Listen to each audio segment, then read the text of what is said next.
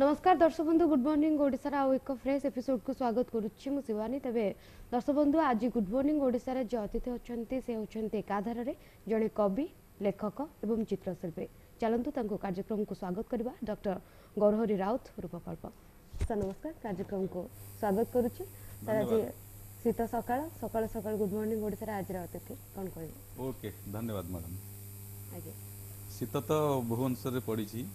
କିଛି ଦିନ ହେବ ଦୁଇ ତିନି ଦିନ ହେବ ଶୀତ ଲାଗି ରହିଛି। ଆଉ ଓଡ଼ିଶାରେ ବି ଶୀତ ଲହର ଜାରି ରହିଛି। ତାପରେ ଆଗାମୀ କି କମିବ କି ନ କମିବ ସେଇଟା ପାଣିପାଗ ବିଶେଷଜ୍ଞମାନଙ୍କର ମତାମତ ରହିବ। ତା ଭିତରେ ସକାଳୁ ସକାଳୁ ଯେ ଗୁଡ୍ ମର୍ଣ୍ଣିଂ ଓଡ଼ିଶାରେ ଯେହେତୁ ଆମେ ପାଇଛୁ ଅନେକ ସାରା କଥା ହେବା। ଜଣେ ସାର୍ କବି ତା ସହିତ ଜଣେ ଲେଖକ ତା ସହିତ ଜଣେ ଚିତ୍ରଶିଳ୍ପୀ। ତିନୋଟି ଯାକ ଆପଣ ବର୍ତ୍ତମାନ ଆପଣେଇ ନେଇଛନ୍ତି।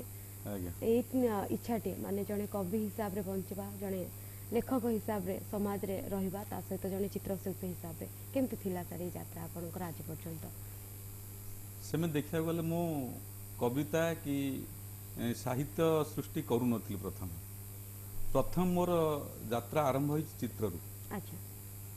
ଯ- ଅତି ଛୋଟ ସମୟରେ ମୁଁ ଯେତେବେଳେ ଏ, ଗାଁ ଦାଣ୍ଡରେ ଧୂଳି ଖେଳ ଖେଳୁଥିଲି ସ୍କୁଲ ଯାଇନଥିଲି ସେହି ସମୟରେ ବି ମୁଁ ଚିତ୍ର କରିବା ଆରମ୍ଭ କରିଥିଲି। ମାଟି କାନ୍ଥରେ ଅଙ୍ଗାରରେ ଚିତ୍ର ଆଙ୍କିବା ଠାରୁ ଆରମ୍ଭ କରି ସ୍ଲେଟରେ ଖଡ଼ିରେ ଚିତ୍ର କରିବା ଏମିତି ଏଇଠୁ ହିଁ ମୋର ଯାତ୍ରା ଆରମ୍ଭ ହୋଇଛି। ଏଥିପାଇଁ ମୋର ପ୍ରଥମ ପ୍ରେରଣା ମୋର ବଡ଼ ବାପା ନାରାୟଣ ପ୍ରସାଦ ରାଉତ। ସିଏ ଏଥିପାଇଁ ମୋତେ ମୁଁ ଯେତେବେଳେ ଛୋଟ ଥିଲି ମୋତେ ସ୍ଲେଟ୍ରେ କିମ୍ବା ମାଟିରେ କିଛି କିଛି ମାଟିରେ କିଛି ମୂର୍ତ୍ତି ତିଆରି କରିଦେଉଥିଲେ ସ୍ଲେଟ୍ରେ କିଛି ଆଙ୍କି ଦେଉଥିଲେ ମୁଁ ତାକୁ ଦେଖି ଖୁସି ହେଉଥିଲି। ଆଉ ସେଇଠୁ ମୋର ମନ ଢଳିଥିଲା ଚିତ୍ର ଆଙ୍କିବା ପାଇଁ। ତାପରେ ଯେତେବେଳେ ସ୍କୁଲ ଯିବା ଆରମ୍ଭ କଲି ସେତେବେଳେ ମୋର ପ୍ରାଥମିକ ଶିକ୍ଷକ ପ୍ରାତଃ ସ୍ମରଣୀୟ ମହେଶ୍ୱର ପଲ୍ଲାଇ ଆମ ଗାଁର ଅନତି ଦୂରରେ ତାଙ୍କର ଘର ପ୍ରସନ୍ନପୁର। ସିଏ ଚିତ୍ର ଭଲ ଚିତ୍ର ଆଙ୍କନ୍ତି। ସ୍କୁଲରେ ପଢ଼ିଲା ବେଳେ ବ୍ଲାକ୍ ବୋର୍ଡ଼ରେ ଯେଉଁ ସବୁ ସୁନ୍ଦର ଚିତ୍ର ଆଙ୍କି ଦିଅନ୍ତି ମୁଁ ତାକୁ ଡ୍ରଇଂ ଖାତାରେ ତାକୁ ନକଲ କରିନିଏ। ସେହି ସମୟରୁ ମୋର ଚିତ୍ର କରିବାର ଅଭ୍ୟାସ ଆଉ ଚିତ୍ର କରିବା ପ୍ରତି ମୋର ଗୋଟେ ଆକର୍ଷଣ ଜନ୍ମିଥିଲା। ଏବଂ ମୋର ସାଙ୍ଗମାନେ ଯେଉଁମାନେ ସହପାଠୀମାନେ ମୋ ସହିତ ପଢ଼ୁଥିଲେ ସେମାନଙ୍କର ଯେଉଁମାନଙ୍କର ଚିତ୍ର ଭଲ ହଏନି ସେମାନେ ତାଙ୍କର ଡ୍ରଇଂ ଖାତା ମୋତେ ମୋ ପାଖକୁ ଆଣୁଥିଲେ। ମୁଁ ତାଙ୍କର ଡ୍ରଇଂ ଖାତାରେ ଡ୍ରଇଂ କରିଦେଉଥିଲି। ଏମିତି ଏମିତି ଚିତ୍ର ଧୀରେ ଧୀରେ ବିକାଶ ସ୍ତରକୁ ଗଲା। ବିକାଶରୁ ବର୍ତ୍ତମାନ ଷ୍ଟେଜ ପର୍ଯ୍ୟନ୍ତ ଆସିଛି ଚିତ୍ର ଆଉ। ଆଜ୍ଞା ତାପରେ ଲେଖାରେ କେତେବେଳେ ସ୍ଥାନ ଆସିଲା ଆପଣଙ୍କ ଜୀବନରେ? ଲେଖା ଲେଖି ଆରମ୍ଭ ହେଲା ମୋର ଯେତେବେଳେ କଳା ମହାବିଦ୍ୟାଳୟରେ ପଢ଼ିଲି ଆର୍ଟ କଲେଜରେ ଯେତେବେଳେ ପଢ଼ିଲି ଆର୍ଟ କଲେଜରେ ପଢ଼ିବାର ପ୍ରଥମ ବର୍ଷ କମ୍ପ୍ଲିଟ୍ ହେଲା ପରେ ହୁଁ। ଉମ୍, ଲେଖା ଲେଖି କରିବାର ଗୋଟେ ଆକର୍ଷଣ ଜନ୍ମ ହେଲା। ତାପରେ ମୁଁ ଯେତେବେଳେ ତ ଯେତେବେଳେ କେନ୍ଦ୍ରାପଡ଼ା କଲେଜରେ ପଢ଼ୁଥିଲି ସେତେବେଳେ ମୋର ଓଡ଼ିଆ ଅନର୍ସ ଡିପାର୍ଟମେଣ୍ଟ ଥିଲା। ସେତେବେଳେ ମୁଁ ଲେଖୁଥିଲି କିନ୍ତୁ ମୋର ଗୋଟେ ଭାବ ନଥିଲା ସେମିତି। ସେଇ ଭାବଟା ଜନ୍ମ ନେଲା ମୋର ଆର୍ଟ କଲେଜରେ ପଢ଼ିବା ପରେ ଆଚ୍ଛା ମୋର ସେତେବେଳେ ଭାଷା ଥିଲା ହୁଁ ଲେଖିପାରିଥାନ୍ତି ହୁଁ କିନ୍ତୁ ମୋର ଯେଉଁ ଫିଲିଙ୍ଗସଟା ସେ ଫିଲିଙ୍ଗସଟା ମୁଁ ପାଇଲି ଆର୍ଟ କଲେଜରୁ। ଆଚ୍ଛା। ବର୍ତ୍ତମାନ ମୁଁ ଅନୁଭବ କରୁଛି କେବଳ ଲେଖିବା ପାଇଁ କେବଳ ଭାଷାର ଆବଶ୍ୟକତା ଯେ ସମସ୍ତେ ବହୁତ ଲୋକଙ୍କର ଧାରଣା ଯେ ଲେଖିବା ପାଇଁ ଭଲ ଭାଷା ହେଇଥିଲେ ଜଣେ ଲେଖକ ହେଇପାରିବ ହୁଁ। ସେ ଧାରଣା ଭୁଲ ଧାରଣା। କାରଣ ଲେଖିବା ପାଇଁ ପ୍ରଥମ କଥା ହେଲା ଭାବ ଦରକାର। ଆଜ୍ଞା। ଭାବ ନଥିଲେ ଭାଷା ଭାଷା ଆସିପାରେ ନ ଆସିପାରେ ସେଟା ଅଲଗା କଥା। ହୁଁ। କିନ୍ତୁ ଭାବଟା ପ୍ରଥମ କଥା। ଆଚ୍ଛା। ଆପଣ ଦେଖନ୍ତୁ ବଡ଼ ବଡ଼ ଯେଉଁ ସାରଳା ଦାସ ଲେଖିଛନ୍ତି ଆଜ୍ଞା।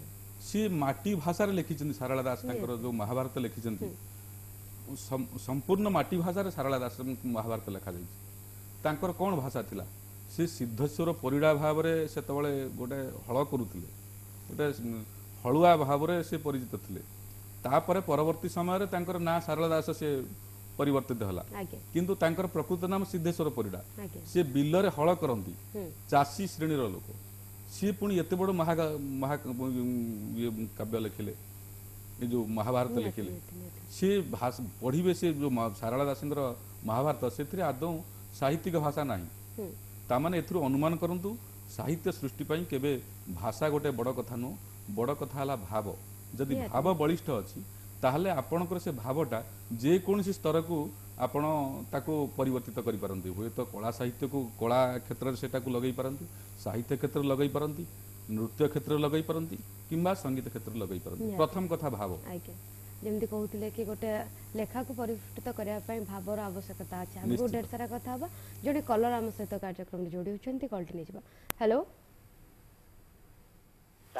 ହ୍ୟାଲୋ ହ୍ୟାଲୋ ନମସ୍କାର ଆଜ୍ଞା ଗୁଡ୍ ମର୍ଣ୍ଣିଂ କିଏ ଆଉ କୋଉଠୁ କହୁଛନ୍ତି ଆଜ୍ଞା ନମସ୍କାର very good morning to all of you ମୁଁ ପ୍ରେମାନନ୍ଦ ଖୁଣ୍ଟିଆ କହୁଥିଲି କେନ୍ଦ୍ରୀୟ ବିଦ୍ୟାଳୟ ନମ୍ବର ଫୋର ଭୁବନେଶ୍ୱରରୁ ଆଜ୍ଞା ଆମ ସହିତ ଆଜି ଗୌରବ ସାର୍ ଅଛନ୍ତି କ'ଣ କଥା ହେବାକୁ ଚାହିଁବେ ସାର୍ ସାର୍ଙ୍କୁ ମୋର ଗୋଟେ ଛୋଟ ପ୍ରଶ୍ନ ରହିଛି ହୁଁ। ସାର୍ ନମସ୍କାର କୁହନ୍ତୁ ପ୍ରେମାନନ୍ଦ ଶୁଭ ସକାଳ ଆ, ସାର୍ ପ୍ରେମାନନ୍ଦ ଜଣେ ଆପଣ ସାହିତ୍ୟ ସ୍ରଷ୍ଟା ଏବଂ ଆପଣ ଜଣେ ଚିତ୍ରଶିଳ୍ପୀ ଆଜ୍ଞା ତ ସାହିତ୍ୟ ସ୍ରଷ୍ଟା ଏବଂ ଚିତ୍ରଶିଳ୍ପୀ ମଧ୍ୟରେ ଆପଣ କଣ ପ୍ରଭେଦ ଦେଖନ୍ତି? ମୋର ଗୋଟେ ଛୋଟ ପ୍ରଶ୍ନ। ଏବଂ ସେକେଣ୍ଡ ପ୍ରଶ୍ନ ରହିଲା ଏଇ ଦୁଇଟାକୁ ଆପଣ ବାଲାନ୍ସ କରି ଆପଣଙ୍କର ଜୀବନର ଗତିପଥକୁ କିପରି ଭାବେ ଆଗେଇ ନେଉଛନ୍ତି? ଆଚ୍ଛା। ଓକେ ଧନ୍ୟବାଦ ପ୍ରେମାନନ୍ଦ ଆଜ୍ଞା ସାର୍। ସାହିତ୍ୟ ସୃଷ୍ଟି ପାଇଁ ଆଉ ଚିତ୍ର ସୃଷ୍ଟି ପାଇଁ ପ୍ରଥମ କଥା ଭାବ ଦରକାର। ମୁଁ ଯୋଉଟା ଏବେ କହୁଥିଲି। ଏବେ ଜଷ୍ଟ ଆଲୋଚନା କରୁଥିଲି କିଛି ଫରକ ନାହିଁ। ଏଥିରେ ମୁଁ କିଛି ଫରକ ଦେଖେନି। ହୁଁ। ସାହିତ୍ୟ ହଉ କି ଚିତ୍ର ହଉ ମାଧ୍ୟମ ଅଲଗା।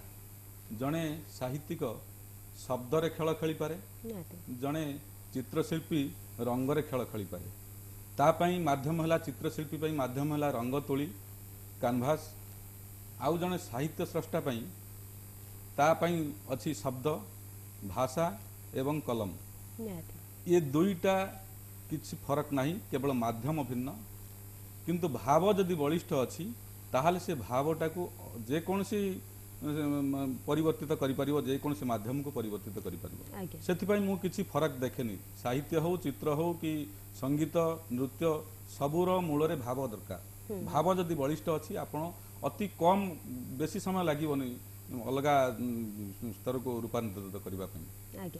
ତେଣୁ ପ୍ରେମାନନ୍ଦ ବାବୁଙ୍କର ଯେଉଁ ପ୍ରଶ୍ନ ଥିଲା ଯେ ସାହିତ୍ୟ ଆଉ କଳା ସୃଷ୍ଟି। ପାଇଁ କ'ଣ ଦରକାର ଆଉ ସେଥିରେ ମୁଁ କିଛି ଫରକ ଦେଖେନି। ଭାବ ପ୍ରଥମ କଥା ଭାବ ଯଦି ବଳିଷ୍ଠ ଅଛି ତାହେଲେ ସେ ଅ, ସ- ସ- ସ୍ରଷ୍ଟା ସେ ସାହିତ୍ୟ ସୃଷ୍ଟି କରିପାରିବ ମାନେ ଚିତ୍ର ବି ସୃଷ୍ଟି କରିପାରିବ ଏବଂ ଚାହିଁଲେ ସେ ସଙ୍ଗୀତ ଲାଇନକୁ ଯାଇପାରିବେ କି ମ୍ୟୁଜିକ୍ ବି ମାନେ ସଂ- ସୃ- ନୃତ୍ୟ ବି କରିପାରିବ ଏଇଟା ହିଁ ପ୍ରଥମ କଥା ଭାବ ଯାହାଟା ମୁଁ ଆଲୋଚନା କରିଥିଲି। ଓକେ ଆଉ ଗୋଟେ ପ୍ରଶ୍ନ ତାଙ୍କର ଥିଲା ଜୀବନକୁ ଆପଣ କେମିତି ବାଲାନ୍ସ କରୁଛନ୍ତି ଏଇସବୁ ଭିତରେ ସାହିତ୍ୟ ଆଉ ଆପଣଙ୍କର କଳା ଭିତରେ? ଜୀବନକୁ ବାଲାନ୍ସ କରିବା ପାଇଁ ମୋର ଦୁଇଟି ମାଧ୍ୟମ। ନ- ମୁଁ କେତେବେଳେ କବିତା ଲେଖେ କେତେବେଳେ ଉମ, ପ୍ରବନ୍ଧ ଲେଖେ ଗଳ୍ପ ଲେଖେ ଆଉ କେତେବେଳେ କେମିତି ଚିତ୍ର ବି କରେ। ସେଥିପାଇଁ ଅ, ସମୟ ଯେଉଁଟା ଇଏ କରୁଛନ୍ତି ସମୟ ସେମିତି କିଛି ମୁଁ ଅନୁଭବ କରିନି ଯେ ସମୟ ଆସିଲେ ଏଇଟା କବିତା ଲେଖିବି। ଠିକ୍ ସମୟ ଆସିଲେ ମୁଁ ଆଜ୍ଞା। ଚିତ୍ର କରିବି। ତା ମୁଁ ସେଇଟା ସେମିତି କିଛି ଅନୁଭବ କରିପାରିନି। ମୋର ଯେତେବେଳେ ଯେଉଁ ଭାବଟା ଆସିଲା ଯେତେବେଳେ ଯେଉଁ ଫିଲିଙ୍ଗସ୍ ଆସିଲା ସେ ଫିଲିଙ୍ଗସଟାକୁ ମୁଁ ରୂପାନ୍ତରିତ କରେ କେତେବେଳେ କାନଭାସରେ କେତେବେଳେ କାଗଜ କଲମରେ। ସେମିତି କିଛି ଅନୁଭବ କରିନି ମୁଁ। ନିହାତି ତେଣୁ ଯେତେବେଳେ କୌଣସି ମୁହୂର୍ତ୍ତରେ ମୁଁ କବିତା ଲେଖିପାରେ କୌଣସି ମୁହୂର୍ତ୍ତରେ ବି ଚିତ୍ର ଚିତ୍ର କରିପାରେ କରିପାରେ। ତା ପାଇଁ ଫିଲିଂ କେତେବେଳେ ମୁଁ ରାତିରେ କବିତା ଲେଖିପାରେ ସକାଳେ ବି କବିତା ଲେଖିପାରେ। ଆଜ୍ଞା।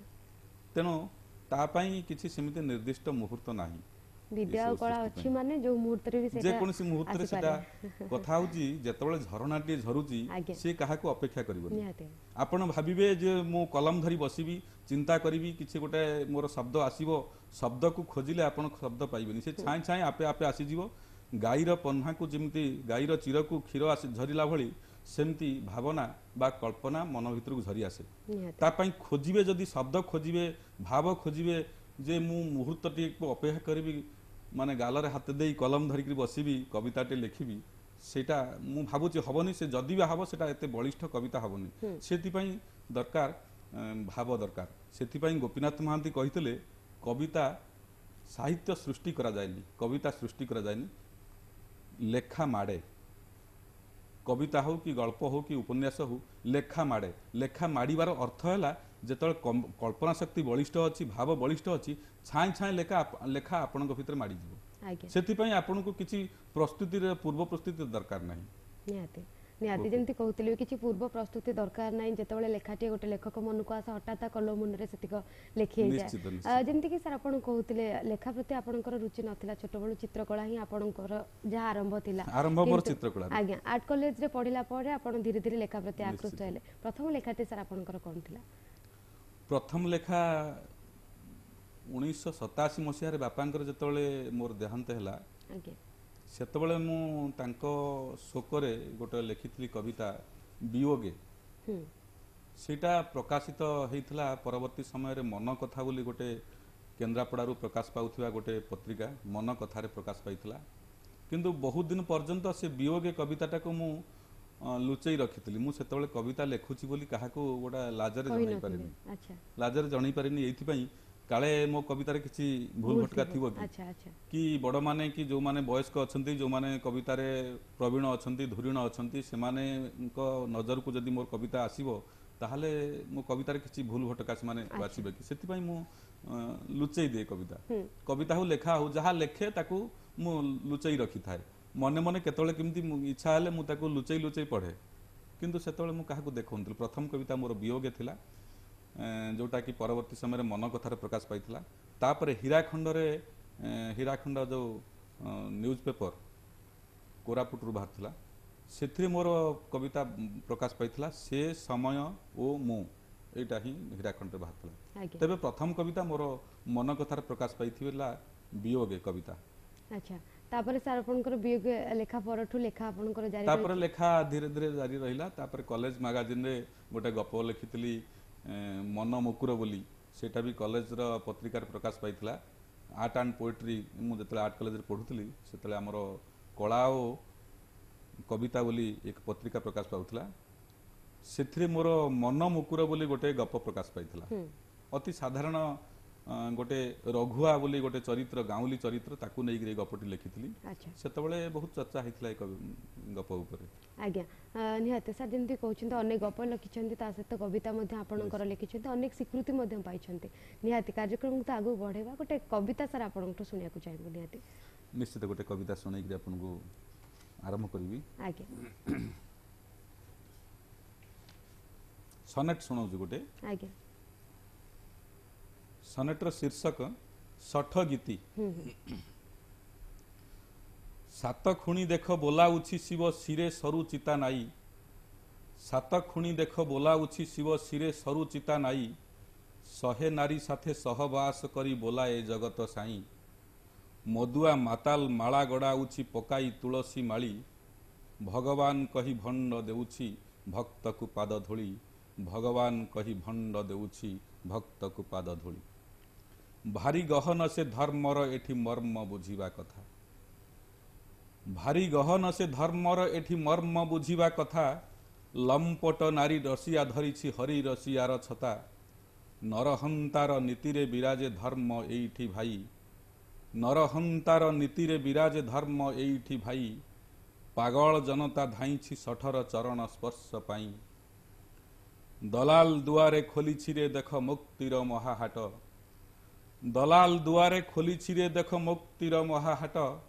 ହସ ଲାଗେ ଆଜି ହସ ଲାଗେ ଆଛି ଦେଖାଉଛି ଶଠ ସରଗକୁ ନୂଆ ବାଟ। ଉପରକୁ ସିନା ଅସଲି ଲାଗଇ ଭିତରେ ନକଲି ମାୟା। ଉପରକୁ ସିନା ଅସଲି ଲାଗଇ ଭିତରେ ନକଲି ମାୟା। ହସ ଲାଗେ ଯାହା ହସ ଲାଗେ ଯାହା ଥୋକେ ଆଜି ସେଇ ଅନ୍ଧ ମାୟାରେ ବାୟା। ସାତ କୁଣି ସାତ ଖୁଣି ଶଠ ସରୁ ଚିତା ନାଇ ଉଡ଼ାଏ ସତର ବାନା। ସାତ ଖୁଣି ଶଠ ସରୁ ଚିତା ନାଇ ଉଡ଼ାଏ ସତର ବାନା। ଭୋଗବାଦୀ ମହାଭଣ୍ଡ ସାଜିଛି ବାବାଜୀ ଅନାରେ ଅନା। ଭୋଗବାଦୀ ମହାଭଣ୍ଡ ସାଜିଛି ବାବାଜୀ ଅନାରେ ଅନା। ଏହା। ଏକ ବ୍ୟଙ୍ଗାତ୍ମକ କବିତା। ବହୁତ ବଢିଆ ଥିଲା। ସାର୍ ଯେମିତିକି ବ୍ୟଙ୍ଗାତ୍ମକ କବିତା କଥା କହୁଥିଲେ ଆପଣଙ୍କୁ ଏଇ କବିତା ମାଧ୍ୟମରେ ଅନେକ ଉପରେ ପ୍ରଭାବ ପଡୁଥିବ ବା ଏ ଲେଖାଟି ପଢି ସାରିଲା ପରେ ପ୍ରକୃତରେ ଅନେକ ସମାଜରେ ପରିବର୍ତ୍ତନ ଆସୁଥିବା ଅନେକ ଲୋକ ଯେଉଁମାନେ ପ୍ରକୃତରେ ଏଇ କାର୍ଯ୍ୟରେ ସଂଶ୍ଳିଷ୍ଟ ବା ଯାହାକୁ ନେଇକି ଆପଣ ଏଇ ଲେଖାଟି ଲେଖିଛନ୍ତି ବ୍ୟଙ୍ଗ କରିଛନ୍ତି ଗୋଟେ ପ୍ରକାର ତାଙ୍କୁ ଏଇ ତୀରଟି ଠିକ୍ ବାଜୁଥିବ। ଯେତେବେଳେ ସେମିତି କିଛି ଆସେ ସିଚୁଏସନ୍ ଆସେ ଯେତେବେଳେ ଆପଣ ବ୍ୟଙ୍ଗ ମାଧ୍ୟମରେ କବିତା ଲେଖନ୍ତି ବା ସମାଜକୁ ଦେଖାନ୍ତି ଆପଣଙ୍କ ଲେଖା ମାଧ୍ୟମରେ କ'ଣ ନିଶ୍ଚିତ। ସେତେବେଳେ ରିଭ୍ୟୁ ଆସେ ଆପଣଙ୍କ ପାଖକୁ? ପ୍ରତିକ୍ରିୟା ଆସେ। ସମାଜର ବିଭିନ୍ନ ବର୍ଗଙ୍କ ଠାରୁ ମୁଁ ଫୋନ୍ କଲ୍ ପାଏ। ଆଚ୍ଛା। ଏବେ ଫୋନ୍ର ସୁବିଧା ହେଇଗଲାଣି। ଆଗରୁ ଯେତେବେଳେ ଫୋନ୍ର ସୁବିଧା ନଥିଲା ହୁଁ। ଚିଠି ମାଧ୍ୟମରେ ଲୋକ ପ୍ରତିକ୍ରିୟା ସେମାନଙ୍କର ଜଣାଉଥିଲେ। ଆଜ୍ଞା। ବହୁତ ପ୍ରତିକ୍ରିୟା ବିରୋଧାଭାସର ପ୍ରତିକ୍ରିୟା ଆସୁଥିଲା ଯେ ଏମିତି କାହିଁକି ଲେଖା। ମୁଁ କହିଲି ମୁଁ ସେତେବେଳେ କହେ କି ଚିଠିରେ ଲେଖେ କି ଫୋନ୍ କଲ୍ ଆସିଲେ ସେମାନଙ୍କୁ ଉତ୍ତର ଦିଏ ଯେ ସାହିତ୍ୟିକ ବା ଚିତ୍ରଶିଳ୍ପୀ ଏମାନେ ସମାଜର ଜଣେ ଜଣେ ମଶାଲବାହୀ ଆଜ୍ଞା। ସମାଜରେ ବିଭିନ୍ନ ପ୍ରକାର କଳୁଷ କାଳିମା ଅଛି। ତାକୁ ଯଦି ଏମାନେ ଲାଇଟ୍ ପକେଇବେନି ଫୋକସିଂ କରିବେନି ତାହେଲେ ଆଉ ଏଇ ସବୁ କାମ କରିବ କିଏ? ଏମାନେ ମଶାଲବାହୀ ସମାଜର ସମାଜରେ ବିଭିନ୍ନ କଳୁଷ କାଳିମା ଅଛି ବିଭିନ୍ନ ପ୍ରକାର ଅନ୍ୟାୟ ଅନୀତି ଦୁର୍ନୀତି ଚାଲିଛି ତାକୁ ଯଦି ଫୋକସିଂ ନ କରିବେ ତା ଉପରେ ଯଦି ଆଲୋକ ସମ୍ପାତ ନ କରିବେ ମାନେ ତାହେଲେ ଆଉ ଅନ୍ୟମାନେ କିଏ କରିବେ? ତେଣୁ ମୁଁ ଚିନ୍ତା କରେ ସାହିତ୍ୟିକ ହଉ ଚିତ୍ରଶିଳ୍ପୀ ହଉ ତା ଲେଖା ମାଧ୍ୟମରେ ତାର ଚିତ୍ରକଳା ମାଧ୍ୟମରେ ଏସବୁ ଉପରେ ଆଲୋକ ସମ୍ପାତ କରିବା ଦରକାର। ସ୍ପଟଲାଇଟ୍ ପକାଇବା ଦରକାର। ତାହେଲେ ସିନା ଲୋକ ବୁଝିବେ ଲୋକଙ୍କ ମର୍ମକୁ ଭେଦିବ ଯେ ପ୍ରକୃତରେ ଏମିତି ଘଟଣା ଘଟୁଛି। ହୁଁ। ତେଣୁ ମୁଁ ସେଇଟାକୁ ଅନୁଭବ କରେ। ଇଏ ମାଧ୍ୟମରେ ହିଁ ଏ, କିଛିଟା ଲୋକଙ୍କ ପାଖକୁ ପହଞ୍ଚିବା ଦରକାର ବାର୍ତ୍ତା। ଆଜ୍ଞା। ସାହିତ୍ୟ ମାଧ୍ୟମରେ ହଉ ଚିତ୍ରକଳା ମାଧ୍ୟମରେ ଆଜ୍ଞା। ହଉ। ଯେମିତି କହିଲେ କି ଅ, କିଛି ବାର୍ତ୍ତା ପହଞ୍ଚିବାକୁ ଆପଣ ସବୁବେଳେ ଚାହାନ୍ତି ତା ସହିତ ସମାଜରେ କିଛି ନା କିଛି ପରିବର୍ତ୍ତନ କରିବାକୁ ଆପଣ ସବୁବେଳେ ଚାହାନ୍ତି। ତ ଶୁଣନ୍ତୁ ଆ- ମ୍ୟାଡାମ ସମାଜରେ ପରିବର୍ତ୍ତନ କରିବାକୁ ମୁଁ ଚାହିଁବା ନ ଚାହିଁବା ଅଲଗା କଥା। କିନ୍ତୁ ମୁଁ ମୁଁ ଚେଷ୍ଟା କରିବି। ଆଜ୍ଞା। ମୁଁ ଚେଷ୍ଟା ଜାରି ରଖିବି। ଲେଖା କିଛି ମାଧ୍ୟମରେ ଯେମିତି ପାଇଁ। ବଦଳି ପାରିବ କିଛି। ଆଚ୍ଛା ରୋମ ନଗରୀ ଗୋଟିଏ ଦିନରେ ତିଆରି ହେଇନଥିଲା। କିମ୍ବା ଡାରୱିନଙ୍କର ଯୋଉ ମତବାଦ ରହିଛି ଯେ ପ୍ରଥମେ ହରିଣ ହରିଣରୁ ଜିରାଫ ହେଇଛି ଯେ ହରିଣ ଯେତେବେଳେ ଘାସ ଖାଉଥିଲା ଘାସ ତା ପାଖାପାଖି ସରିଗଲା ସରିଗଲା ପରେ ସେ ଜୀବ ନା ଇଏ ବେକ ବଢେଇଲା ଉପରକୁ ଧୀରେ ଧୀରେ ତାର ବେକର ଲମ୍ବା ଗ୍ରୀବା ଲମ୍ବା ହେଲା। ଆଜ୍ଞା। ଯୋଉଟା କି ଡାରୱିନଙ୍କର ଚାରଣଙ୍କ ମତବାଦ ତେଣୁ ସମାଜରେ ପରିବର୍ତ୍ତନ ଆସିବାଟା ଏତେ ନିଶ୍ଚିତ ପରିବର୍ତ୍ତନ ହଉଛି। ଏତେ ମନ୍ଥର ଧୀର ମନ୍ଥିର ଗତିରେ ହଉଛି ସେଇଟାକୁ ଆପଣ ଆପଣ ନିଜର ଜୀବନ କାଳ ଭିତରେ ଅନୁଭବ କରିପାରିବେନି। ଆଜ୍ଞା। ପ୍ରୋଟୋଜୁଆରୁ ଏପର୍ଯ୍ୟନ୍ତ ମଣିଷ ସମାଜ ହେଇଛି ବିଭିନ୍ନ ଜୀବଜନ୍ତୁ ସୃଷ୍ଟି ହେଇଛି। ହୁଁ। ପ୍ରୋଟୋଜୁଆ ପ୍ରଥମ ଅ, ଏକକୋଷୀ ପ୍ରାଣୀ ପ୍ରୋଟୋଜୁଆ। ଆଜ୍ଞା। ଏତେ ସବୁ ହେଲା ଇଏ କ'ଣ ଗୋଟିଏ ଦିନର କଥା? କୋଟି କୋଟି ବର୍ଷ ଲାଗିଯାଇଛି ଆଜ୍ଞା, ସେଥିପାଇଁ। ନିହାତି ନିହାତି। ତେଣୁ ପରିବର୍ତ୍ତନ ନିଶ୍ଚିତ ଆସୁଛି ସେ পরিবর্তন এতে মন্থরে যে আপনার জীবনকাল অতি সীমিত অতি ক্ষুদ্র সেসবু অনুভব করা নিহতি স্যার।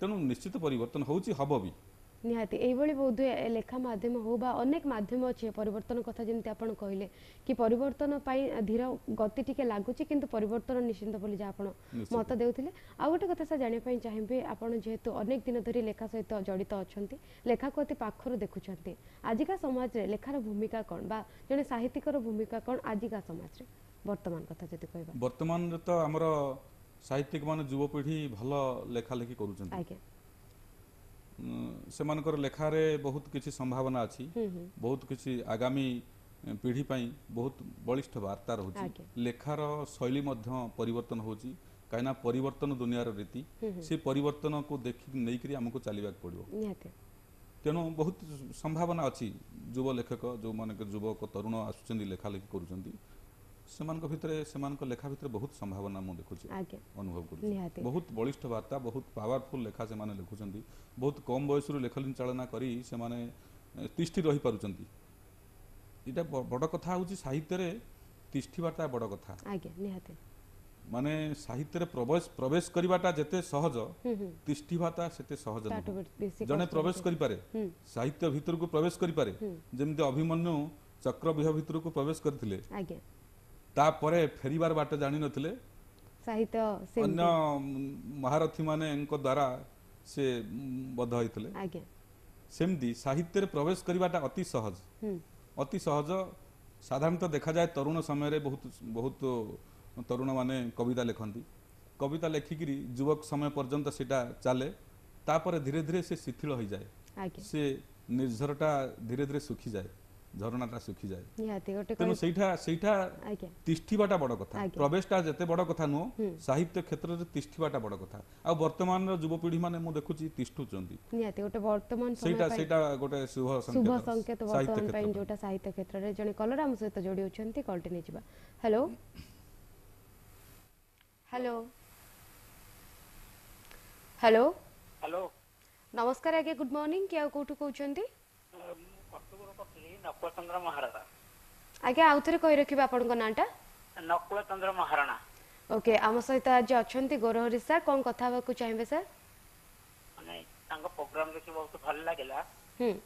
ଆଉ ମୁଁ ବର୍ତ୍ତମାନ କି ମୁଁ ଖବରଟା ପାଇଲି ଯେମିତି ସାଙ୍ଗେ ସାଙ୍ଗେ ମୁଁ ଫୋନ କଲି। ଆଜ୍ଞା କୁହନ୍ତୁ। କଂଗ୍ରାଚୁଲେସନ ଗୌରବ ଭାଇକି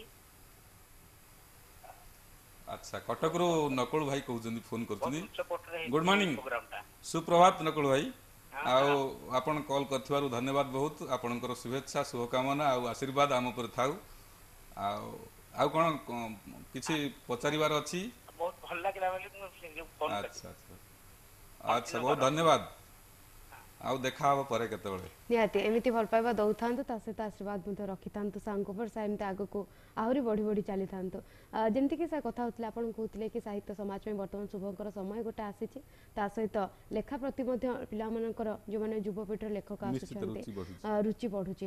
ସାର୍ ଆଉ ଗୋଟେ ଗୋଟେ କ୍ଷେତ୍ରରେ ମଧ୍ୟ କୁହାଯାଉଛି ବର୍ତ୍ତମାନ ଶବ୍ଦ କ୍ଷେତ୍ରରେ ବା ଲେଖା କ୍ଷେତ୍ରରେ ବା ଯୋଉ ଶବ୍ଦ ଗୁଡ଼ିକ ବର୍ତ୍ତମାନ ଆଜିର ଯୁବପିଢ଼ି ବ୍ୟବହାର କରୁଛନ୍ତି ଟିକେ ଦେଖାଦେଉଛି କି ଯେମିତି ଆଗ ଆଗରୁ ଯୋଉ ଲେଖାଟା ଥିଲା ସେଇ ଲେଖା ଧୀରେ ଧୀରେ ହଜୁଛି ନା ସମୟର ସ୍ରୋତରେ ନିଶ୍ଚିତ, ଲେଖା ମଧ୍ୟ ସମୟର ସ୍ରୋତରେ ନିଶ୍ଚିତ ସମୟର ସ୍ରୋତରେ ବହୁତ କିଛି ପରିବର୍ତ୍ତନ ହବ। ଆଜ୍ଞା। ଏଇଟା ଅ, ପ୍ରକୃତିର ନିୟମ। ସମୟ ଅନୁସାରେ ସବୁ କିଛି ପରିବର୍ତ୍ତନ ହବ। ଆଜ୍ଞା। ଆମେ ଯେଉଁ ଶବ୍ଦ ବ୍ୟବହାର କରୁଥିଲେ ସେ ଶବ୍ଦ ବର୍ତ୍ତମାନ ଖୋଜିଲେ ମିଳିବନି। ଆପଣ ଦେଖନ୍ତୁ ମାଦଳା ପାଞ୍ଜି ଯେଉଁ ଶବ୍ଦ ଯେଉଁ ସାହି ଭାଷାରେ ଲେଖାଯାଇଥିଲା ସେ ଭାଷା ବର୍ତ୍ତମାନ ନାହିଁ। କିମ୍ବା ଉପେନ୍ଦ୍ର ଭଞ୍ଜ ତାଙ୍କର କାବ୍ୟ ଯେଉଁ ଭାଷାରେ ଲେଖିଥିଲେ ସେ ଭାଷା ଖୋଜିଲେ ମିଳିବନି। ଆଜ୍ଞା। ସାରଳା ଦାସ ମହାଭାରତ ଲେଖିଥିଲେ ଯେଉଁ ଭାଷାରେ ସେ ଭାଷା ବର୍ତ୍ତମାନ ଖୋଜିଲେ ମିଳିବନି। ମିଳିବାର ମିଳିବାଟା ବିଡ଼ମ୍ବନାର କଥା ପ୍ରଥମେ ମ- ଯେତେବେଳେ ଆମେ ଆମେ ଗୋଟେ ଉଦାହରଣ ନେବା ଦୈନନ୍ଦିନ ଜୀବନରୁ ଆଜ୍ଞା। ଆମେ ଭେଲ୍ ପେନ୍ ପିନ୍ଧୁଥିଲେ। ହୁଁ। ଭେ- ଭେଲ୍ ପେନ୍ ପିନ୍ଧୁଥିଲେ ମାନେ ଭେଲ୍ ରହୁଥିଲା ବୟାଳିଶ ଇଞ୍ଚ ଚାଳିଶ ଇଞ୍ଚ ହାତୀ କାନ ଭଳି ଝୁଲୁଥିଲା। ବର୍ତ୍ତମାନ ସେଇଟା ନାହିଁ। ନିଶ୍ଚିତ ସମୟ ଅନୁସାରେ ସବୁ ବଦଳିବ। ଆଜ୍ଞା। କିନ୍ତୁ କଥା ହେଉଛି ବହୁତ ଶବ୍ଦ ଆମର ଲୋପ ପାଉଛି ସାହିତ୍ୟ କ୍ଷେତ୍ରରୁ।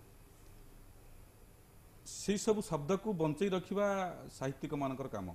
ଯୋଉ ଶବ୍ଦଟା ଅତି ନିହାତି ଦରକାର। ମାଟି ଭାଷାରେ ସ- ନିହାତି ସାର୍ ମହାଭାରତ ସରି ଲେଖିଥିଲେ ଟିକେ ସାର୍। ଅଟକେଇବି ସାର୍ ଜଣେ ଓକେ। କଲର ଆମ ସହିତ ଯୋଡି ହଉଛନ୍ତି କଲଟି ନେଇଯିବା। ହ୍ୟାଲୋ ହ୍ୟାଲୋ ନମସ୍କାର ଆଜ୍ଞା ଗୁଡ୍ ମର୍ଣ୍ଣିଂ କେଉ କୋଉଠୁ କହୁଛନ୍ତି ଆପଣଙ୍କ ନାଁଟା ସାର୍? ନମ- ନମସ୍କାର ମୋ- ମୋ ନାଁ ଡକ୍ଟର ଅକ୍ଷୟ କୁମାର ସେନ। ଆ, ଦିଲ୍ଲୀରୁ କହୁଛି। ଆଜ୍ଞା ସାର୍ କୁହନ୍ତୁ। प्रोग्राम देखु गौरहरी बाबू बहुत भल लगुच।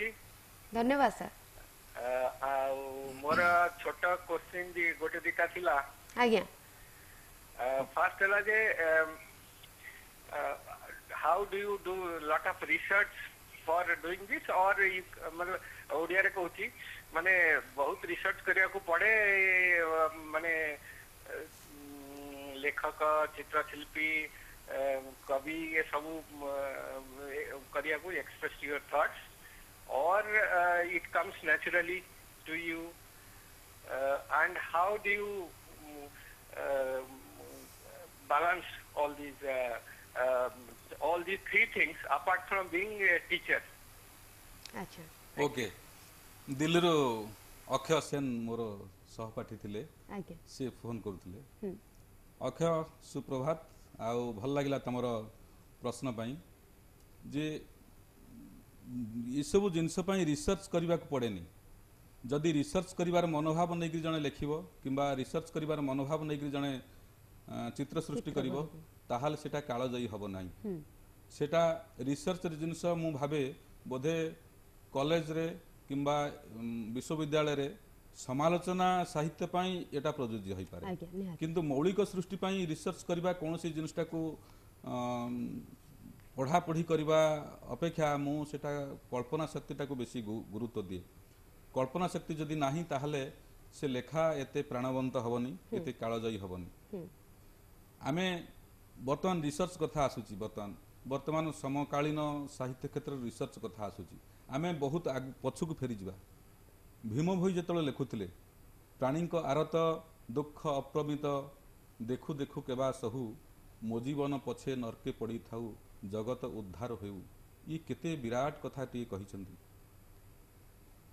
ଭୀମ ଭୋଇ ସେତେବେଳେ ସେ କ'ଣ ରିସର୍ଚ୍ଚ କରୁଥିଲେ? କିଛି ରିସର୍ଚ୍ଚ କରିବାର ନାହିଁ ତାଙ୍କ ମନକୁ ତାଙ୍କ ଆନ୍ଦୋଳିତ କରୁଥିଲା ଯାହା ସେ ସେଟାକୁ ପ୍ରକାଶ କରୁଥିଲେ ଲେଖା ମାଧ୍ୟମରେ। ଭାବଟାକୁ ପ୍ରକଟ କରୁଥିଲେ। ଭାଷା ମାଧ୍ୟମରେ। ସେଭଳି ଭାବଟାକୁ ପ୍ରକଟ କରିବା ପାଇଁ ରିସର୍ଚ୍ଚ କରିବାର ଆବଶ୍ୟକତା ନାହିଁ ମୋ ମତରେ। ହୁଏତ ୟା ଉପରେ ଆଉ କାହାର କ'ଣ ମତ ରହିବ ସେଟା ମୁଁ କହିପାରିବିନି କିନ୍ତୁ ମୋ ମତରେ ରିସର୍ଚ୍ଚ କରିବାର ମନୋଭାବ ଜଣେ ଯଦି ନେଇକରି ଯଦି ଚିତ୍ର ସୃଷ୍ଟି କରିବ କି ସାହିତ୍ୟ ସୃଷ୍ଟି କରିବ ମୋ ମତରେ ସେଟା ଏତେ କାଳଜୟୀ ହେବନି ଦୀର୍ଘସ୍ଥାୟୀ ହେବନି। କିଛି ଦିନ ପରେ ସେଟା ମାନେ ବିଶ୍ୱବିଦ୍ୟାଳୟ ସ୍ତରରେ କିମ୍ବା କ- ବିଦ୍ୟାଳୟ ମହାବିଦ୍ୟାଳୟ ବିଦ୍ୟାଳୟ ସ୍ତରରେ ପାଠ୍ୟପୁସ୍ତକ ଆକାରରେ ପ୍ରକାଶିତ ହୋଇପାରେ ଉଁ, ପିଲା- ପିଲାଙ୍କ ପାଇଁ ପଢ଼ା ପୁସ୍ତକ ଭାବରେ ପ୍ର- ଇଏ ହେଇପାରେ ଆଦୃତ ହୋଇପାରେ କିନ୍ତୁ ସାହିତ୍ୟ ସବୁବେଳେ ପାଇଁ ମୌଳିକତା ଉପରେ ନିର୍ଭର କରେ ନିହାତି ନିଜସ୍ୱ ମୌଳିକତା ଯଦି ନାହିଁ ସାହିତ୍ୟ ସୃଷ୍ଟି ସେତେ କାଳଜୟୀ ହେବ ନାହିଁ ଧନ୍ୟବାଦ ଅକ୍ଷୟ ନିହାତି ସାର୍ ଯାହା ପ୍ରଶ୍ନ କରିଥିଲେ ବୋଧେ ଆପଣ ଉତ୍ତର ତାହା ଦେଇପାରିଛନ୍ତି ତାପରେ ସାର୍ ଜାଣିବା ପାଇଁ ଚାହିଁବେ ଆମର ଅଧାରେ ଅଟକିଥିଲା ଯୋଉଟା କି ଲେଖାରେ ଶବ୍ଦର ଅଭାବ ବର୍ତ୍ତମାନ ରହୁଛି ବା ଶବ୍ଦର ସେଇ ହଁ, ବହୁତ ଶବ୍ଦ ସାମଞ୍ଜସ୍ୟ ଆମର ମରି ହଜି ଯାଉଛି। ଯୋଉଟା ଖାଣ୍ଟି ଓଡ଼ିଆ ଶବ୍ଦ ସେ ଶବ୍ଦକୁ ମୁଁ ଅନୁରୋଧ କରିବି ଏଇ ପ୍ରୋଗ୍ରାମ ମାଧ୍ୟମରେ ଆମ ସାହିତ୍ୟିକମାନଙ୍କୁ ସେ ଶବ୍ଦକୁ ସବୁ ସାହିତ୍ୟରେ ଖଞ୍ଜନ୍ତୁ। ମୋର ଗୋଟେ ପ୍ରବନ୍ଧ ଥିଲା ସାହିତ୍ୟରେ ମାଟି ଭାଷାର ଅନିବାର୍ଯ୍ୟତା ଯେ ମାଟି ଭାଷା ଯୋଉ ଭାଷାରେ ଆମ ସାଧାରଣ ଭାଷାରେ କଥାବାର୍ତ୍ତା ହଉଛେ ସେଇଟାକୁ କାହିଁକି ଆମେ ସାହିତ୍ୟରେ ନ ଖଞ୍ଜିବା? ମୁଁ ମୁଁ ଚାହେଁ ସାହିତ୍ୟରେ ସେସବୁ ଆସୁ ସେସବୁ ଭାଷା। ଆମେ ଯଦି ଅତି ରାଜକୀୟ ଭାଷା ଭାଷାଟାକୁ ବ୍ୟବହାର କରିବା ପ୍ରୟୋଗ କରିବା ସାହିତ୍ୟରେ। ହୁଏତ ରାଜକୀୟ ଭାଷା ପ୍ରୟୋଗ କଲେ ସେଇଟା ପରୀକ୍ଷାରେ ଭଲ ମାର୍କ ରଖିବା ପାଇଁ ରାଜକୀୟ ଭାଷାର ଆବଶ୍ୟକତା ଅଛି। ନିହାତି। ଭଲ ମାର୍କ ରଖିବା ପାଇଁ ୟୁନିଭର୍ସିଟି ପରୀକ୍ଷାରେ କି କଲେଜ ପରୀକ୍ଷାରେ ଏ, ଯୋଉ ଅନର୍ସ ଡିପାର୍ଟମେଣ୍ଟ ଓଡ଼ିଆ ପିଲା କି ଲିଟରେଚର ବାଲା ଯୋଉମାନେ ଭାଷା ବ୍ୟବହାର କରନ୍ତି ସେ ସବୁ ଅର୍ଣ୍ଣାମେଣ୍ଟାଲ ଲାଙ୍ଗୁଏଜ ରାଜକୀୟ ଭାଷା। ସେ ରାଜକୀୟ ଭାଷା ମୁଁ ଭାବୁଛି ବୋଧେ ମୁଁ ଭାବେ जे परीक्षा रे भल मार्क रखापी प्रजोज्य कि साहित्य सृष्टि करने किसी जे भल राजक भाषा आवश्यकता पड़ कि रयाल लांगुएज रवश्यकता अच्छी अति आम साधारण भाषा व्यवहार कर आम साधारण जो भाषा आम कथबार्ता करूचे से भाषाटा को आम व्यवहार कर साहित्य सृष्टि करमती सारा दास करमती भीम भई करमर ऋषि भाई ऋषिकेश मल्लिक गोटे कविता बही पढ़े धान साउंटा झील କବିତା ଏତେ ପ୍ରାଣବନ୍ତ ହେଇଛି। ସେ କବିତା ବହିଟେ ଓଡ଼ିଶା ସାହିତ୍ୟ ଏକାଡେମୀ ପୁରସ୍କୃତ ପ୍ରାପ୍ତ। ଧାନ ସାଣ୍ଡା ଝାଉ ଝିଅ ପଢ଼ିଲେ। ଜଣେ ଲାଗିବନି ଗୋଟେ ସାଧାରଣ ପାଠକଟିଏ ପଢ଼ିପାରିବ ସେଟାକୁ। ସେଥିପାଇଁ ମୁଁ କହେ ସାହିତ୍ୟ ଏମିତି ଭାବରେ ସୃଷ୍ଟି ହଉ ଯେମିତି ଗୋଟେ ସାଧାରଣ ଲୋକକୁ ଆକୃଷ୍ଟ କରିବ। ଗୋଟେ ଗୋଷ୍ଠୀ ତିଆରି ନ ହଉ ସାହିତ୍ୟରେ। ମାନେ ନିର୍ଦ୍ଦିଷ୍ଟ କିଛି ନିର୍ଦ୍ଦିଷ୍ଟ ଗୋଷ୍ଠୀ ଆମେ ସାହିତ୍ୟର ଶବ୍ଦ ଅର୍ଥ ଖୋଜିବା ପାଇଁ ଆମେ ଯେମିତି ଅଭିଧାନ ଖେଳିବାକୁ ନ ପଡ଼େ ଆଜ୍ଞା ଆଜ୍ଞା। ନିହାତି। ସେଥିପାଇଁ ସେଥିପାଇଁ କହେ ସାଧାରଣ ଭାଷାରେ ସାହିତ୍ୟ ସୃଷ୍ଟି ହଉ କିଛି ଅସୁବିଧା ନାହିଁ। ହୁଁ। ପ୍ରାଣବନ୍ତ ହେବା ଦରକାର। ଆମର ସାହିତ୍ୟରେ ଭାବ ଥିବା ଦରକାର ପ୍ରାଣବନ୍ତ ହେବା ଦରକାର। ଆଉ ଯୋଉ ସାହିତ୍ୟ ଯେତେ ପ୍ରାଣବନ୍ତ ସେ ସାହିତ୍ୟ ସେତେ କାଳ ଯାଇ ନିହାତି। ଯେମିତି ଗୋଟେ ପାଠକଟିଏ ସେଟାକୁ ସହଜରେ ବୁଝିପାରୁଥିବ ଯେମିତି ବୁଝିପାରୁଥିବ। ଆପଣଙ୍କର ଯୋଉଟା ସାରାଂଶ ଥିଲା। ଓକେ ଆଉ ଜଣେ କଲର ଆମ ସହିତ ଯୋଉଠି ଅଛନ୍ତି କଲଟି ନେଇଯିବା ହ୍ୟାଲୋ ହ୍ୟାଲୋ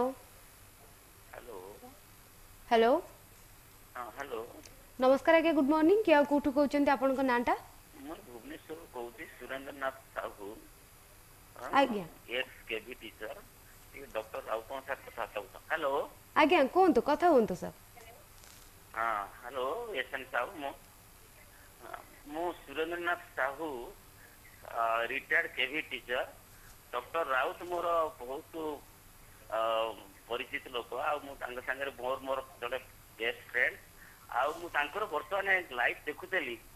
ତାଙ୍କର ଯୋଉ ବାର୍ତ୍ତାଳାପଟା କଲେ ଏତେ ସୁନ୍ଦର ଲାଗୁଛି ତାଙ୍କର ସବୁ କଥା ଗୁଡିକ ମୁଁ ଆଉ ତାଙ୍କ ସାଙ୍ଗରେ କଥା ନ କହି ରହିପାରିବିନି। ଆଚ୍ଛା। ସବୁ ପ୍ରକାର ମାନେ ଧନ୍ୟବାଦ, ଆନ୍ସର ସାହୁ ସେ ମୋ ଭିତରେ ଯୋଉ ଥିଲା କୋଶ୍ଚିନ୍ ପଚାରିବା ପାଇଁ ସେ ସବୁ ତା ଭିତରେ ଆନ୍ସର ଦେଇପାରିଛନ୍ତି। ଆଉ ଧନ୍ୟବାଦ ସାହୁ ସାର୍। ଏକଦା ଆମେ କଲିଗ ଭାବରେ ଅ, କାମ କରୁଥିଲୁ। କଟକ କେଭି କଟକରେ କାମ କରୁଥିଲୁ। ସାହୁ ସାର୍ ଧନ୍ୟବାଦ ଆପଣଙ୍କର କଲ୍ ପାଇଁ ଯେ ଆପଣ ଯାହା ପ୍ରଶଂସା କରୁଛନ୍ତି ସେ ପ୍ରଶଂସାର ଯୋଗ୍ୟ ମୁଁ ନୁହଁ। କେବଳ ମାତ୍ର ମୁଁ ଚାଲିଛି ଦୌଡ଼ୁନି। ମୋ ଚାଲିବା ଭିତରେ ଯଦି ସମାଜ କିଛି ମୋର ପାଦ ଚିହ୍ନ ପଛରେ ଛାଡ଼ିଥିବି ସମାଜ ଦେଖିବ ତାହେଲେ ସେଇଟା ବଡ଼ କଥା। ଯେ ଆମେ ଯଦି ପଛକୁ ଚାହିଁବା ଯେ ମୁଁ ଏତେ ବାଟ ଆସିଗଲିଣି ଆଉ ବୋଧେ ଆଗକୁ ଚାଲିବା ପାଇଁ ଆବଶ୍ୟକତା ପଡ଼ିବନି। ପାହାଡ଼ ଚଢ଼ାଳି ଯଦି ଅ, ମାନେ ଭାବିବ ଯେ ମୁଁ ବହୁତ ଉପରକୁ ଉଠିଗଲିଣି ପଛକୁ ଅନେଇବ ଯେ ଚାହିଁ ଭାବିବ ଯେ ମୁଁ ପାହାଡ଼ର ବହୁତ ଶୀର୍ଷକୁ ପହଞ୍ଚିଗଲିଣି ଆଉ ବୋଧହୁଏ ତା ଉପରେ ପାହାଡ଼ ନାହିଁ। ହୁଁ। ଆଉ ଉଠିବା ଆବଶ୍ୟକତା ନାହିଁ ବହୁତ ଆଗ- ଆଗେଇ ଆସିଲେଣି। ତାହେଲେ ସେଇଠି ତାର ଯାତ୍ରାର ଶେଷ ହେଇଯିବ। ନିହାତି। ତାର ଯାତ୍ରାର ଡେଥ୍ ହେଇଯିବ ସେଇଠି। ତେଣୁ ଏଁ, ରବର୍ଟ ଫ୍ରଷ୍ଟଙ୍କର ଗୋଟେ କବିତା ମନେ ପଡ଼ୁଛି woods are lovely dark and deep and I have to promise to keep miles to go before I sleep and miles to go before I sleep ତେଣୁ ଆଖି ମୁଦିବା ପର୍ଯ୍ୟନ୍ତ ମୋତେ ଚାଲିବାକୁ ପଡ଼ିବ। ନିହାତି। ଆଉ ସେ ଚାଲିବାଟା ଯଦି ଜାରି ରହେ ତାହେଲେ ହୁଏତ ସଫଳତା କିଛି ଆସିପାରେ। ସେ ସଫଳତାକୁ ଦେଖିବା ଆପଣଙ୍କର କାମ ନୁହଁ। ସେ ସଫଳତାର ଶ୍ରେୟ ସାଉଁଟିବ ସମାଜ। ସେତେବେଳକୁ ଆପଣ ଥିବେ କି ନଥିବେ ସେଇଟା ଅଲଗା କଥା। ଆଜ୍ଞା। ନିହାତି ଯେମିତିକି ସାର୍ କହିଲେ କି ସଫଳତା ସାଉଣ୍ଡଟି ଚାଲିବା ମଣିଷର ଗୋଟେ ବଡ଼ କର୍ତ୍ତବ୍ୟ। ବାକି କ'ଣ କଲେ ନ କଲେ ସେଇଟା ସମାଜ ଉପରେ ଛାଡ଼ିଦେବା ବା ସମାଜ ସମାଜ ସେଟାକୁ ଦେଖିବ ଆମର କର୍ତ୍ତବ୍ୟ ଆମେ ଚାଲିବା। ଆମ ଆମର ଭିତରେ ଆମ ଦ୍ୱାରା ଯଦି କିଛି ସମାଜରେ କିଛି ହେଇପାରୁଛି ଆମେ କରିଯିବା। ନିହାତି। ତେଣୁ ଆମେ ଦେଖିବାନି ପଛକୁ ଚାହିଁବାନି ମୁଁ ଏତେ ଗୁଡା କାମ କରିଦେଲିଣି ଆଶା ଏତେ କିଛି ନ ସୃଷ୍ଟି, ରଖିକି ଏତେ ବହି ରଖିବା ହିଁ ଏତେ ଭଲ, ପୁସ୍ତକ ମୁଁ ଲେଖି ସାରିଲିଣି ଏତେ ଚିତ୍ର କରିସାରିଲିଣି ଆଉ କିଛି କରିବା ଦରକାର ନାହିଁ। ଏଇ ମନୋଭାବ ଯେତେବେଳେ ଆସିଲା ଆପଣଙ୍କର ଆର୍ଟିଷ୍ଟିକ ସ୍କିଲର ଡେଥ୍ ହେଇଗଲା। ଯେତିକି ସକ୍ସେସ୍ ଆପଣ କଳାତ୍ମକ ଚାହୁଁଛନ୍ତି ମନୋଭାବର ସେଇଠି- ମୃତ୍ୟୁ ସେଇଠି ହେଇଗଲା। ଆଜ୍ଞା। ତେଣୁ ଆପଣ ସେସବୁ ଚିନ୍ତା କରନ୍ତୁନି ଆପଣ ଆ- ଚାଲନ୍ତୁ ଆପଣଙ୍କ ବାଟରେ ଚାଲନ୍ତୁ। ଯେମିତି ବିବେକାନନ୍ଦଙ୍କର ଗୋଟେ ବି ମନେ ପଡୁଛି ଏଇ ମର୍ମରେ arise awake and stop not till the goal is reached ଯେପର୍ଯ୍ୟନ୍ତ ଆପଣଙ୍କର ଗୋଲରେ ପହଞ୍ଚି ନାହାନ୍ତି ଚାହାଲ- ତାହେଲେ ଉତିଷ୍ଠତ ଜାଗ୍ରତ। ଆଜ୍ଞା। ଚାଲନ୍ତୁ। ନିହାତି। ନିହାତି। ଖୁବ ସୁନ୍ଦର କଥାଟିଏ ସାର୍ ଆଗକୁ ମଧ୍ୟ କଥା ହେବା। ଆଉ ଗୋଟେ ସୁନ୍ଦର କବିତା ଆପଣଙ୍କର ଯେତିକି ଲେଖା ଅଛି ଗୋଟେ ଶୁଣିବାକୁ ଚାହିଁବୁ। ଆଉ ଆଉ ଗୋଟେ କବିତା ଆଜ୍ଞା। ଶୁଣଉଛି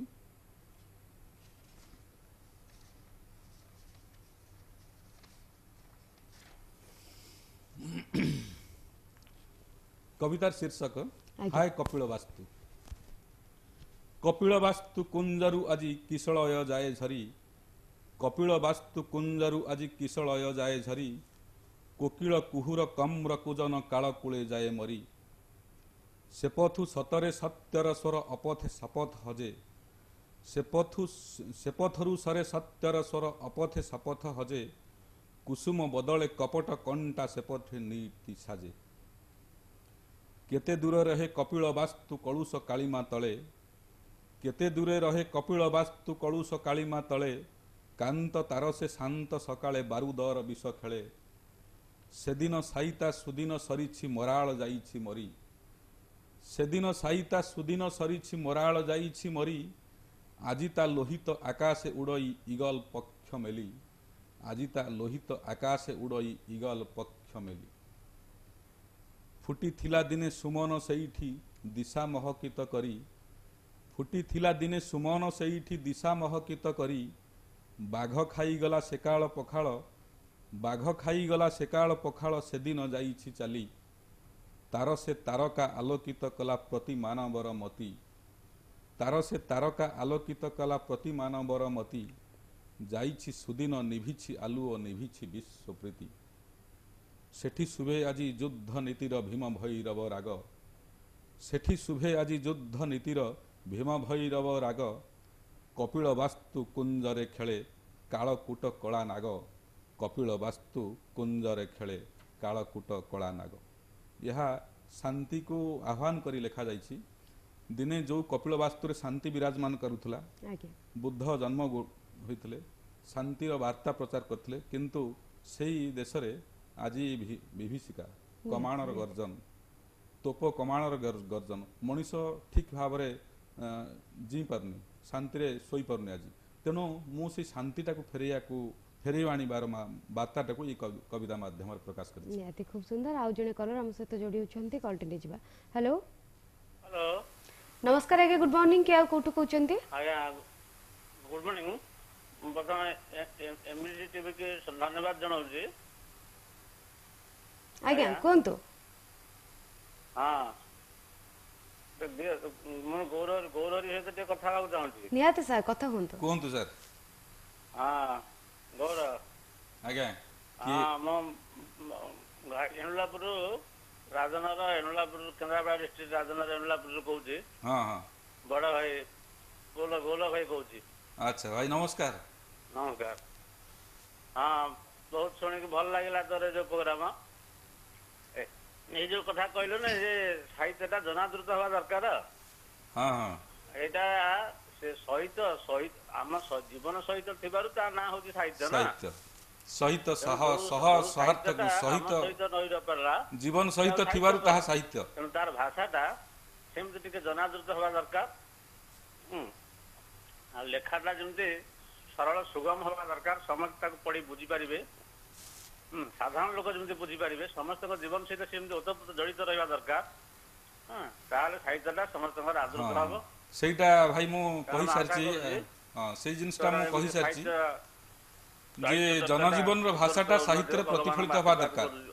ନିକଟରେ କାମନା କରୁଛି ଭଗବାନ ଆଶୀର୍ବାଦ କରନ୍ତୁ। ସାହିତ୍ୟ ଚର୍ଚ୍ଚା ସାହିତ୍ୟ ସାଧନା ଏମିତି ଉତ୍ତରୋତ୍ତର ଉନ୍ନତି ହଉ। ଆଉ ସମସ୍ତ ଯେମିତି ସମାଜରେ ଯେମିତି ପ୍ରଶଂସନୀୟ ହବୁ। ସେଥିପାଇଁ ମୁଁ ଭଗବାନ ନିକଟରେ ପ୍ରାର୍ଥନା କରୁଛି। ନିହାତି। ହଉ, ନିହାତି ଧନ୍ୟବାଦ। ଧନ୍ୟବାଦ ସାର୍ ଆପଣଙ୍କ କଲ୍ ପାଇଁ ହଁ, ଏମିତି। ମୁଁ ବଡ଼ ଭାଇ ଗୋଲକ ବିହାରୀ ରାଉତ ସାଂସ୍କ୍ରିଟର ସଂସ୍କୃତ ଶିକ୍ଷକ ଥିଲେ ହାଇସ୍କୁଲରେ ସଂସ୍କୃତରେ ତାଙ୍କର ଅଗାଧ ପାଣ୍ଡିତ୍ୟ। ତେଣୁ ସେ ତାଙ୍କଠାରୁ ମୁଁ ବହୁତ ସମୟରେ ଅ, ପରାମର୍ଶ ନିଏ। ଆଜ୍ଞା। ଯେ କେଉଁଠି କେମିତି ବୁଝି ବୁଝି ନ ପାରିଲେ କି ମୋର ଦର- ଦରକାର ପଡ଼ିଲେ ମୁଁ ତାଙ୍କଠାରୁ ପରାମର୍ଶ ନିଏ। ସଂସ୍କୃତରେ ଜଣେ ବିଦ୍ୱାନ ସେ ସାଂସ୍- ଇଏ ହାଇସ୍କୁଲରେ ଆଜ୍ଞା ଖୁବ୍ ଅବସର ସୁନ୍ଦର। ନେଇଛନ୍ତି ବର୍ତ୍ତମାନ। ଆଜ୍ଞା। ଆ, ସାର୍ ଆଉ ଗୋଟେ କଥା ପଚାରିବାକୁ ଚାହିଁବି। ଯେମିତିକି ସାର୍ ସାହିତ୍ୟ କଥା କୁହନ୍ତୁ ବା ଚିତ୍ର କଥା କୁହନ୍ତୁ ଆପଣ ସବୁ କି ଅତି ପାଖରୁ ଦେଖିଛନ୍ତି। ଆଜିକା କ୍ଷେତ୍ରରେ ଆକୁ ନିଶା କରି ବଞ୍ଚିବା। ଆପଣ ସାହିତ୍ୟ କଥା କୁହନ୍ତୁ ବା ଆପଣଙ୍କ ଚିତ୍ରକଳା କଥା କୁହନ୍ତୁ ଏଇଟା କେତେ ଦୂର ଯଥାର୍ଥ? ଗୋଟେ କଳାକୁ ବା ସାହିତ୍ୟକୁ ନିଶା କରିକି ବଞ୍ଚିବା ଆଜିକା କ୍ଷେତ୍ରରେ। ନିଶା ହେଇପାରେ ସାହିତ୍ୟ ହଉ କି ଚିତ୍ର ହଉ ନିଶା ହେଇପାରେ। କିନ୍ତୁ ପେଶା ଯଦି କରିବେ ତାହେଲେ ହୁଏତ ଆପଣଙ୍କ ପାଇଁ ଗୋଟେ ଚ୍ୟାଲେଞ୍ଜ ଆସିପାରେ। ଦୁଇଟା ସାହିତ୍ୟ ନା ନିଶା ପାଇଁ ଚ୍ୟାଲେଞ୍ଜ କିଛି ନାହିଁ। ଆପଣ ନିଶା କରିପାରନ୍ତି ଆପଣ ନ ଖାଇକିରି ଚିତ୍ର କରୁ- କରନ୍ତୁ କେହି କିଛି କାହାର କିଛି ଅସୁବିଧା ନାହିଁ। କି ସାହିତ୍ୟ ସୃଷ୍ଟି କରିକିରି ବଞ୍ଚନ୍ତୁ କାହାର କିଛି ଅସୁବିଧା ନାହିଁ। କିନ୍ତୁ ଯେତେବେଳେ ପେଶାର କଥା ଆସୁଛି ତାକୁ ନେଇ ବଞ୍ଚିବାର କଥା ଆସୁଛି ତାହେଲେ ହୁଏତ ଆପଣଙ୍କ ଉପରେ ନିର୍ଭର କରୁଥିବା ଘର ଲୋକ ଅଙ୍ଗୁଠି ନିର୍ଦ୍ଦେଶ କରିବେ ଆପଣଙ୍କୁ ଯେ ଏଥିରେ କ'ଣ ପେଟ ପୁରୁଛି ଏଥିରୁ ଆମକୁ ପଇସା କେତେ ମିଳିବ? ଯଦି ପେଶା କରିବାର ମନୋଭାବ ନେଇକରି ଯଦି ଏଇ କ୍ଷେତ୍ରକୁ ଆସୁଛନ୍ତି ତାହେଲେ ଆପଣ ନିଶ୍ଚିତ ନିରାଶ ହେବେ। ନିଶା କରନ୍ତୁ। ନିଶାରୁ ଯଦି ପେଶା ଆଡ଼କୁ ପଳେଇଗଲା ସେଇଟା ଭାଗ୍ୟର କଥା ବାଇଚାନ୍ସ ବୋଲି କୁହାଯିବ। ହେଇଗଲା ତ ଭଲ କଥା। ଆପଣ ଦେଖନ୍ତୁ କୌଣସି କାଳରେ ପେଶା କରିକି ବଞ୍ଚିବାଟା ମୁଁ ଭାବୁଛି ସେମିତି ଗୋଟେ ଚ୍ୟାଲେଞ୍ଜ ହେଇଯିବ। କିନ୍ତୁ ନିଶା କରିବାର କିଛି ଆଜିକା ସମାଜରେ ତ ଆହୁରି ବୋଧହୁଏ ଚ୍ୟାଲେଞ୍ଜ ହେଇଯିବ ଚ୍ୟାଲେଞ୍ଜ ହେଇଯିବ କିନ୍ତୁ ବର୍ତ୍ତମାନ ପେଶା କରିକି ବଞ୍ଚି ହେଉଛି ଆଜିକାଲି ବହୁତ କଳା ସଚେତନତା ଆସିଗଲାଣି ଲୋକଙ୍କ ଭିତରେ। ଆମର ବହୁତ କଣ୍ଟେମ୍ପୋରାରୀ ସମକାଳୀନ ଚିତ୍ରଶିଳ୍ପୀମାନେ ଦିଲ୍ଲୀ ମୁମ୍ବାଇ ଆବ୍ରୋଡ୍ ବାହାରେ ବି ବିଦେଶରେ ଅଛନ୍ତି ସେମାନେ ଚିତ୍ରକଳାକୁ ପେଶା କରି ବଞ୍ଚି ପାରୁଛନ୍ତି। ନିଶା ସହିତ ପେଶା ଦିଟାକୁ ନେଇକି କରିପାରୁଛନ୍ତି। ନିଶା ତ ଆପଣଙ୍କ ନିଜକୁ ଭଲ ଲାଗିବ ନିଜକୁ ସେଇଥିରେ ହଜେଇ ଦେବେ ଏଇଟା ନିଶା। ପେଶା ମାନେ ସେଥିରୁ କିଛି ଅର୍ଥ ଉପାର୍ଜନ କରିବେ।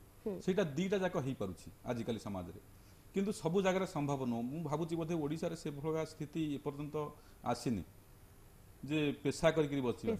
ଆପଣ ପରିବାର ଚଳେଇବେ। ଆପଣ ପରିବାର ଚଳେଇବା ପାଇଁ ପଇସା ଦରକାର। ପଇସା ଗୋଟେ ଚିତ୍ର ବିକିଲେ ଆପଣଙ୍କୁ କେତେ ପଇସା ମିଳିବ? ଆପଣଙ୍କର ଗୋଟେ ଚିତ୍ର ଯେତେବେଳେ ଗୋଟେ ଏକ୍ରେଲିକ୍ କଲରରେ କରୁଛନ୍ତି କିମ୍ବା ତୈଳ ଚିତ୍ର କରୁଛନ୍ତି ଟିକେ ଅଟକେଇବି ଜଣେ କଲର ଆମ ସହିତ ଯୋଡ଼ି ହେଉଛନ୍ତି କଲ୍ଟି ନେଇଯିବା।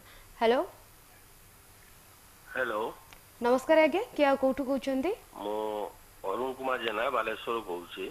ଓକେ କଥା ହୁଅନ୍ତୁ ସାର୍ କଣ କଥା ହେବାକୁ ଚାହୁଁଛନ୍ତି କଣ ଜାଣିବା ପାଇଁ ଚାହୁଁଛନ୍ତି ମୁଁ ଗୁଡ୍ ମର୍ଣ୍ଣିଂ କୁହ। ଗୌରହରି ରାଉତଙ୍କ କୁ ଗୋଟେ ପ୍ରଶ୍ନ ପଚାରିବା ଚାହୁଁଛି। ଆଜ୍ଞା।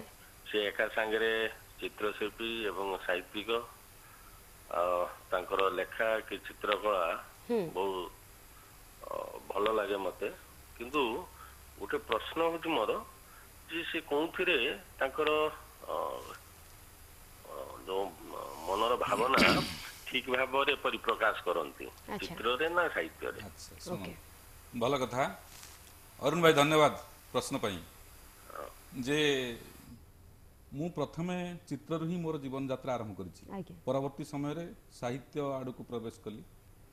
ସାହିତ୍ୟ ଭିତରେ ଭିତରେ ଚିତ୍ର ଭିତରକୁ ସାହିତ୍ୟ ଗୋଟେ ପ୍ରକାର ଧସେଇ ପଶି ଆସିଲା ରକମ ମୋତେ ଲାଗିଲା। ମୁଁ ତାକୁ ବି ବ୍ରେକ୍ ଦେଲିନି। କାହିଁକିନା ବ୍ରେକ୍ ଦେବାର ଅଧିକାର ମୋର ନାହିଁ।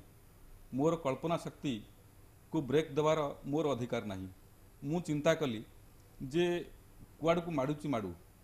ନଦୀ ଯେତେବେଳେ ପ୍ଲାବିତ ହେବ ଯେତେବେଳେ ପୂର୍ଣ୍ଣଗର୍ଭା ହେଇଯିବ ସେ ନିଶ୍ଚିତ କୂଳ ଲଙ୍ଘନ କରିବ ନିଶ୍ଚିତ। ତେଣୁ ସିଏ କୂଳ ଲଙ୍ଘନ କରିବାକୁ ଆପଣ ଯେତେ ବାଡ଼ ଦେଲେ ବି ଯେତେ ବନ୍ଧ ବାନ୍ଧିଲେ ବି ସେ ବନ୍ଧ ବାନ୍ଧିବନି ମାନିବନି। କଳ୍ପନା ଶକ୍ତି ମୋ ଜାଣିବାରେ ସେଭଳି ଗୋଟେ ଶକ୍ତି ଯାହାଟା କିଛି ବନ୍ଧ ମାନେନି। ସେ କୁଆଡ଼କୁ କୁଆଡ଼କୁ ମାଡ଼ିଯାଏ। ଯେମିତି ମୋର ଚିତ୍ରରୁ ଆରମ୍ଭ ହୋଇଥିଲା ଜୀବନ ମୋର ଚିତ୍ରରୁ ଆରମ୍ଭ ହେବା ପରେ ସାହିତ୍ୟ ସୃଷ୍ଟି ହେଲା ମୁଁ ଚିନ୍ତା କରିନଥିଲି ମୁଁ ସାହିତ୍ୟ ସୃଷ୍ଟି କରିବି। ମୁଁ ଯେତେବେଳେ ଜେନେରାଲ କଲେଜରେ ପଢୁଥିଲି ମୁଁ ଭାବୁଥିଲି କିଛି ଲେଖିବା ପାଇଁ କିନ୍ତୁ କିଛି ଲେଖିପାରୁନଥିଲି କାହିଁକିନା ମୋର ଭାବ ନଥିଲା ମୁଁ ଯାହାଟା ପ୍ର- ପ୍ରଥମରୁ ଆଲୋଚନା କରିଛି। ତେଣୁ ଭାବ ଯଦି ବଳିଷ୍ଠ ହେଲା ଯେତେବେଳେ କଳ୍ପନା ଶକ୍ତିର ଉଦ୍ଦାମତା ଯେତେବେଳେ ଆସିଲା ତେଣୁ ତାକୁ ଅଟକେଇବାର ମୋର ଧୈର୍ଯ୍ୟ କି ସାହସ ହିମ୍ମତ ମୋର ନାହିଁ। ତେଣୁ ସିଏ କୁଆଡ଼େ ମାଡ଼ୁଛି ମାଡ଼ୁ। ତେଣୁ ମୁଁ ଯୋଉ କହୁଥିଲି ଗୋପୀନାଥ ମହାନ୍ତିଙ୍କର ଗୋଟେ କଥା ଲେଖା ମାଡ଼େ ବା ସାହିତ୍ୟ ମାଡ଼େ କିମ୍ବା ଚିତ୍ର ମାଡ଼େ ତାକୁ ଆମେ କେହି କିଛି ଉଁ, ମୋର ଅଧିକାର ନାହିଁ ତାକୁ ବ୍ରେକ୍ ଦେବା ମୁଁ ଯଦି ଭାବିବି ମୁଁ ବହୁତ କିଛି ମୁଁ ଲେଖା ଲେଖିରେ ବହୁତ ଲେଖା ମନସ୍କ ହେଇଯାଉଛି ଚିତ୍ର ମନସ୍କ ବହୁତ କମ୍ ହେଉଛି ତେଣୁ ମୁଁ କଲମଟିଏ ଲେଖ ରଖି ମୁଁ ତୁଳିଟିଏ ଧରିବି। ବର୍ତ୍ତମାନ ମୋ ଚିତ୍ର ଟିକେ କମି ଯାଉଛି ଲେଖା ଅନୁସାରେ ଚିତ୍ର କମୁଛି ମୁଁ ଭାବେ ବୋଧେ ମୁଁ ଅନ୍ୟାୟ କରିବି। ଆଜ୍ଞା। ମୋର କଳ୍ପନା ଶକ୍ତି ମୋର ଭାବ ପ୍ରତି ମୋର ଇମାଜିନେସନ୍ କଳ୍ପନା ଶକ୍ତି ପ୍ରତି ମୋର ଅନ୍ୟାୟ ହେବ।